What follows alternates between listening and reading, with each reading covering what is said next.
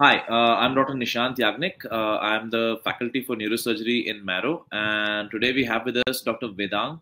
Dr. Vedang is a topper in this time's uh, INI exam. Uh, so, at the outset, congratulations, Vedang. So nice to have you with us. Thank you, thank you very much, sir. Thank you. Yeah. So, uh, uh, Vedang, this is going to be very informal. Uh, this is how we do it normally. It's not really about anything except that your except your personal journey and uh, what advice you can give to others who have to go through what you've gone through. so, you know, let's start with a little bit about that. Where are you from, Vedang? Uh, sir, uh, I'm basically from Nagpur. I've done my undergraduation from uh, Indira Gandhi Government Medical College, Nagpur, and I'm currently pursuing my post graduation from Government Medical College, Dhule, Maharashtra. No, okay, okay. And you're uh, you're still in your residency? Yes, sir. Yes, sir. I'll be. I'm exam going. Uh, my exams are due on June 20th. Yes, sir. On June 20th. So you've Yeah. gotten your next step before the present step is over. So double congratulations for that. Uh, and uh, how's it been? Yeah, how's how was your uh, MBBS and your MS and everything? How was the journey? So it's been uh, it's been really nice. I mean, I had a great undergraduation, and then I went. I came into post graduation here, and um, it's been a journey here also. Uh, going through all the, you know how it is, sir. Uh, general surgery, how it is, and it's been quite a journey with all the things coming around, and then this coming as a result. I'm really happy. I'm blessed actually to actually get this. So really- yeah. really When did you when did you uh, uh, decide that you wanted to take up uh, neurosurgery as your branch? So actually, I mean, uh, not giving a very uh, uh, cliched answer on this, but first, personally speaking, I was looking forward into neurosurgery for quite some time. I mean, as an undergraduate also, and I was preparing for NIMHANS that time. I couldn't actually get through, and then um then in my undergraduation, uh, post graduation, I had some opportunity uh, to do some cases, some assist some cases, and Yeah. then um, so that's why that's how it started actually. Oh, that's great. Yeah. And uh, did you have postings in your residency in neurosurgery? Sir, actually, in my institute, uh, there's no particular posting for uh, uh, neurosurgery. It uh, all whichever unit gets the case, the neurosurgeon comes and operates the case.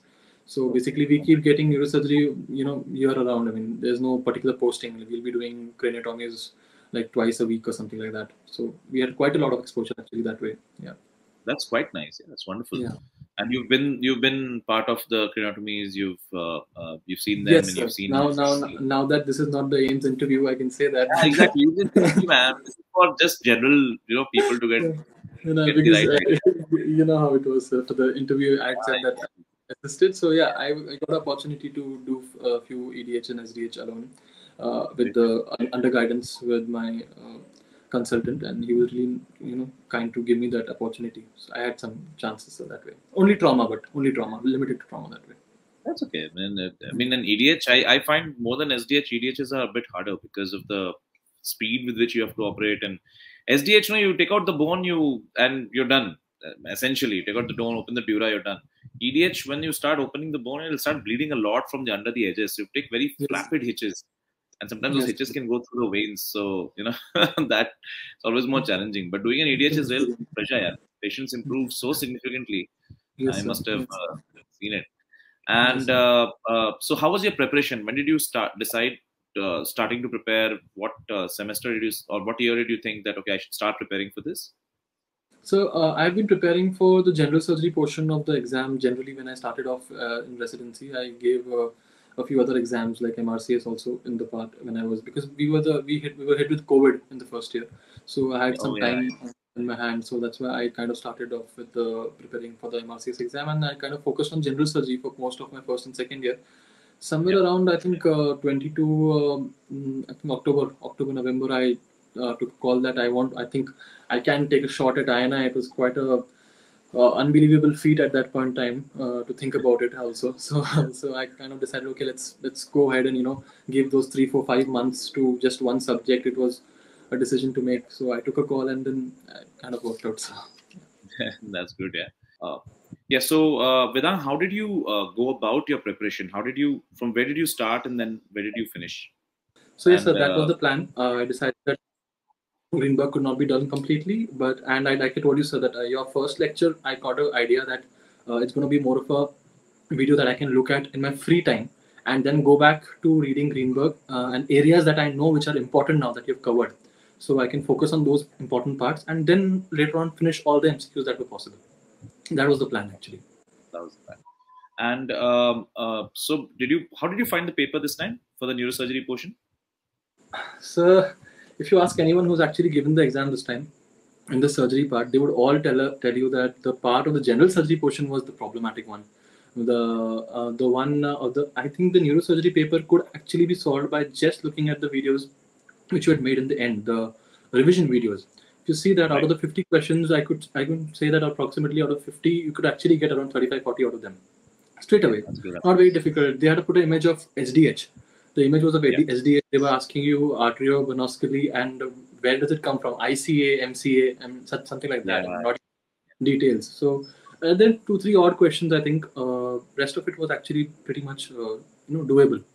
You didn't have to go yeah. too much depth and all that the Parkinson scale really stumped me. You know, that was the first question that uh, that people said. That I, yeah, how would you? Uh, I mean, I, it was a bit beyond. I think what uh, is expected of us. The yeah, problem is that you can make the lectures more and more complex. It's not difficult, but the problem is you'll st- start misleading candidates into reading portions that are usually not asked. So, but when you get stumped on that question, I think it's important for people to remember everyone will get stumped on that question. Exactly. So it's not exactly. exactly. So that's really nice and uh, and what have you uh, okay before we can move ahead for a couple of other things but what have you decided to take up? Which institute? So i've taken i've decided on AIIMS delhi only. So i want to go there. It's been a dream.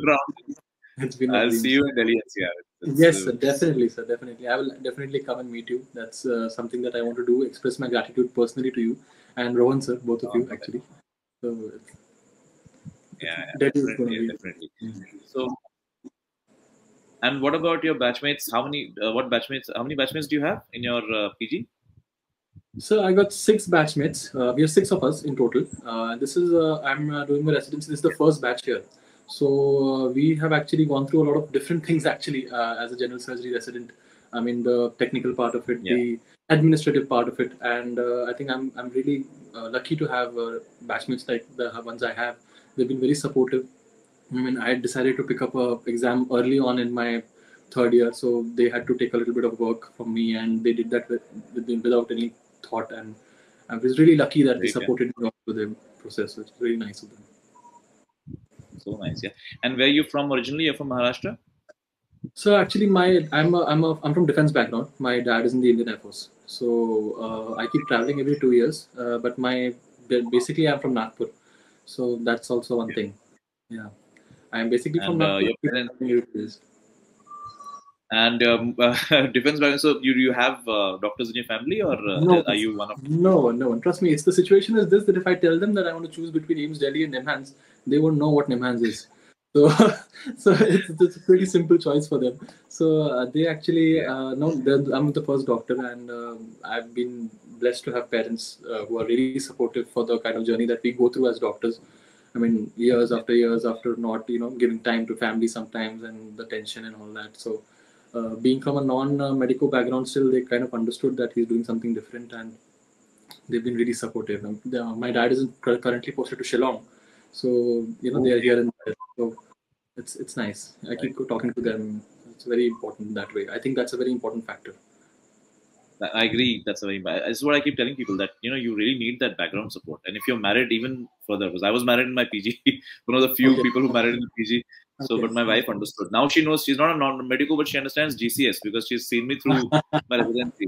There'll be a call of, for an EDH, and she'll see the CT, and then she'll say, hey,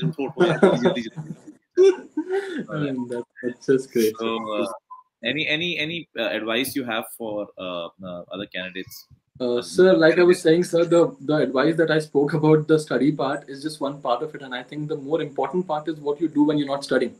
Uh, as a resident who I was a JR3, so the kind of work we do, the kind of uh, pressure we get from our seniors, or the kind of pressure we get from the patients, and how we manage the operative, operative procedures, the patients dying, and all that.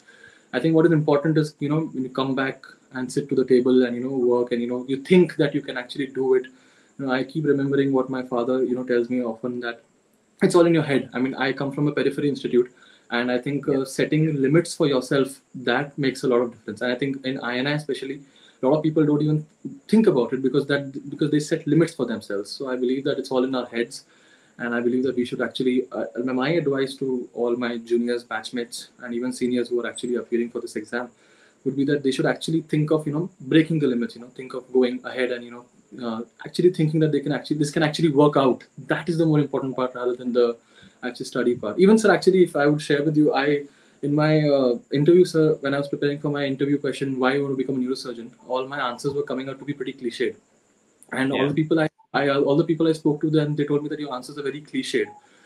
And i kind of told them that you know let them be cliched. I mean i have reasons that are cliched to be a neurosurgeon and i i and i don't mind it you know. I think that uh, cliche doesn't get old you know i mean it's it's something that um, the kind of cliche, the kind of cliche work the kind of cliche passion that you have towards the subject makes you come back and sit uh, on the table to study when things don't actually work out in the hospital so my advice to all the people who are preparing especially for ini is to actually you know think of widening their horizons and of thinking beyond what they can do and setting limits and kind of be cliched about what they want to do. That's good, yeah. So, uh, what the, you know, I don't uh, talk about this much because it's something difficult to explain. When you are sitting in an interview uh, or with someone, I think you can see it in their eyes if they're bullshitting. so, if so, you know, the whole point is to uh, be authentic so if you're if you're a person who's old school, who's cliched, but you know you they can see it in your eyes that this person means business. That's what they want. They want a practical person sitting in front of them and telling them that I'm going to tell you the good news. I'm going to tell you the bad news just as much. So I think that's great advice. I think that ultimately you have to be true. If you're true to yourself, it shows in your face, and it shows in your studies uh, definitely. And I think you're a real inspiration to uh, everyone, Vedant. And uh, uh you know, coming in the future, I always say this to um, even the previous INI and the NEET, uh, you know, those who got through NEET, they're still in touch with me. Um, I meet them sometimes. And recently, I met someone in uh, the, there was a conference in PJ and there was an alumni meet. So even there, I met some of uh, our juniors. And it's it's a tough branch. It's a tough field. It's a tough life, as you can see, you know, and uh, late nights and everything. So I was just I was just concluding here, Vedant. So I was saying, ki, um, so I've been in touch with a lot of people who've gotten through even in the previous exams and uh, neurosurgery residency is tough one of the toughest things i've done for sure. So uh, um, so at any point of time if you ever need any help uh, i'm here for academic personal non-academic you know all of those issues. Even, even here after you finish your residency and you need to decide what you want to do your fellowships where you want to settle down. So uh, this is a think of it as a long-term relationship. And yes. Uh, you know best of luck uh, for the coming future. Uh, you're going to have a hell of a time, and uh, you know, congratulations again. And uh, hopefully, uh, hopefully, I see you in Delhi. Yeah, we'll meet up. Sure. Sure, sir. Have definitely. a couple of drinks. Yes, sir. Definitely, sir. Right. Definitely. Yes, sir. Sure. Thanks. Yeah. Thanks. Uh, thanks, Vedant. Thank you, sir. Good night. Sir. Yeah. Good night.